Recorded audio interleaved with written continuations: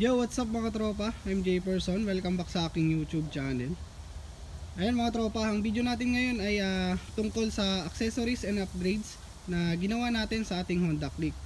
So ito, ah, nagawan ko na ng video mga tropa. Ah, check nyo na lang sa aking YouTube channel. So ang mga accessories and upgrades na ginawa ko dito ay di-discuss ko ulit para kompleto, di ba mga tropa? So ayun, ah, start na natin. So ayun mga tropa, start natin dito sa may panel gauge protector. Dito, itong carbon na to mga tropa, ah, nabili ko lang din sa Shopee sa halagang 163 pesos. Kasama na yung shipping fee. Ah, magkasama kasi ito mga tropa, itong ah, panel gauge ah, protector garnish. Ayan, magkasama kasi to itong dalawang to. Itong panel gauge protector garnish natin, ay ang presyo niya ay 228 pesos. Punta naman tayo dito sa may visor with R25 side mirror. Ayan, ito. Ito mga tropa. Plus, ito. So, ito mga tropa, nabili ko to sa may, ayan. Dito sa may Moto Project. Sa may Maya pa mga tropa. Ayan, check nyo lang yung Facebook page nila. Search nyo lang Moto Project, ah, Motorcycle, Parts and Accessory. Tapos, ah, punta naman tayo dito sa may brake lever guard. Ito mga tropa. So itong brake lever guard natin mga tropa ay binili ko sa Shopee lang din. Ah, nabili ko siya sa halagang 220 pesos. Ah, kasama na yung shipping fee mga tropa. Punta naman tayo dito sa may ah, rubber mat. Ayan. So ito ah, mga tropa nabili ko lang din sa may shop sa nabili ko lang din sa Shopee sa halagang 315 pesos. So kasama na rin yung shipping fee mga tropa. Tapos, ah, punta naman tayo sa crash guard. Ayan. So, itong crash guard natin, mga tropa, ay nabili ko lang din sa halagang 1,300 pesos. Ah, nabili ko siya mga tropa dito lang sa malapit sa amin. Ayan. So, kung napapansin nyo, mga tropa, ah, bagong pintura na siya, no? Makinis na. And then, ah, wala na siyang mga kalakalawang. Dati kasi mga tropa, kinakalawang na yan. Mga, sa mga dugtungan na yan. Ayan. Dito. Ayan. Ayan prone yan sa mga kalawang mga tropa yan. Ang ginawa ko mga tropa, nirepaint ko siya. So bumili ako ng primer, tapos ah, black, and then yung ah, top coat, ayan. Or yung clear coat, ayan. And then ah, maganda naman yung kinalabasan, ayan. Ah, makintab na siya. Although hindi siya perfect, pero okay na yan mga tropa. Ito naman tayo dito sa may auxiliary light. Ayan. Ayan mga tropa. Bali, dual lens yan. Ah, ang brand nito ay ah, ayan, AES. Ayan, nabili ko lang siya sa sa Facebook Market. Ayan no. So, nabili ko siya sa halagang 1,800 pesos. Kasama na yung ah, kabit. I mean, kabit. Kasama na yung ah, pagka pag-install ng ating ah, auxiliary light. So, punta naman tayo dito sa may auxiliary light bracket. Ayan. Ito mga ito mga tropa. Ito ayan.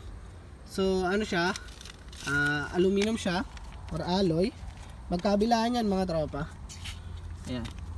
So ito mga tropa nabili ko lang din sa Shopee sa halagang ah, 558 pesos. Kasama na yung shipping fee.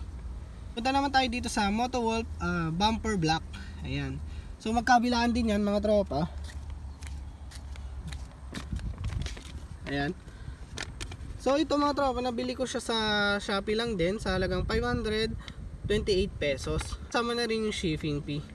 So ito mga tropa, uh, mga sinasabi ko no, uh, pwedeng magkakaiba yung presyo sa inyo kasi syempre magkakaiba tayo ng location. Uh, naman tayo dito sa may DS4 radiator cover. Ayan mga tropa. So ito, nabili ko lang din sa Shopee sa halagang 268 pesos. Tapos punta naman tayo dito sa may axle cap. Ayan. So ito, uh, nabili ko lang dito sa malapit sa amin sa halagang 120 pesos. Pair na yan, magkabilaan. Ayan. Tapos punta naman tayo dito sa may sipat windshield mga tropa. Ayan. So ito nabili ko siya sa Facebook Market. Uh, Doon ako nagtingin kasi gusto ko uh, on hand na siya. And then, siya na rin yung magkakabit. So, ito mga tropa, uh, nabili ko siya sa halagang 4,500. Uh, kasama na yung kabit. Uh, kasama na yung pag-install. Ayan, napakaganda mga tropa. Papunta naman tayo sa may alloy top box. Ayan.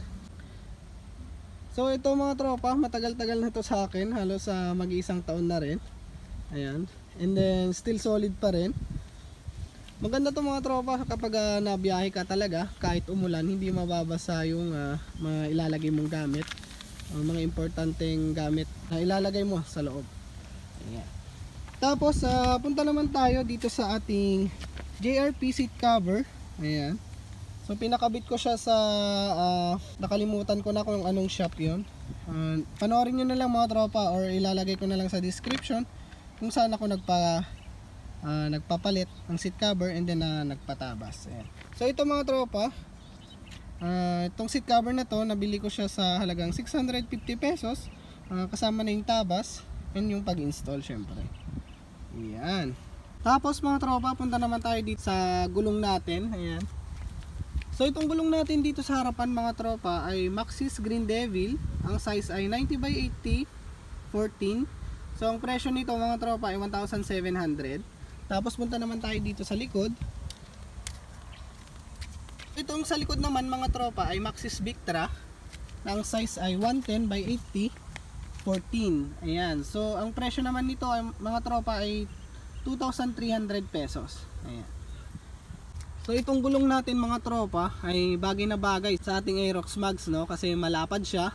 Malapad yung mags natin. Syempre dapat malapad din yung uh, gulong natin. Ayan.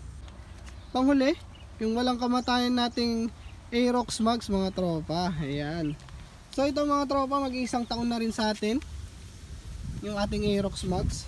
And then isang uh, sakit sa ulo, di pa tayo binibigyan and hoping na uh, sa mas matagal na panahon hindi tayo bibigyan ng sakit ng ulo yeah. napaka solid mga tropa gawang JJQ ito mga tropa kaya kung uh, gusto nyo magpa convert uh, punta na lang kayo sa JJQ machine shop ayan solid yan silang gumawa mga tropa Ayun, mga tropa yun na lahat yung accessories and upgrades na ginawa ko sa aking Honda Click ang uh, kabuuan na nagastos ko na dito sa aking uh, Honda Click accessories and upgrades ay umabot na mga tropa sa halagang 24,850 pesos. Ayan. So medyo malaki-laki na mga tropa no yung ating uh, nagastos dito sa ating Honda Click. Pero ayos lang kasi tignan nyo naman yung uh, uh, output no. So para sa akin nap napaka-forma na ng ating Honda Click. Ayan. So mga tropa, uh, dito ko natatapusin yung ating video. Uh, maraming salamat sa panonood. Stay safe, ride safe. God bless. Peace!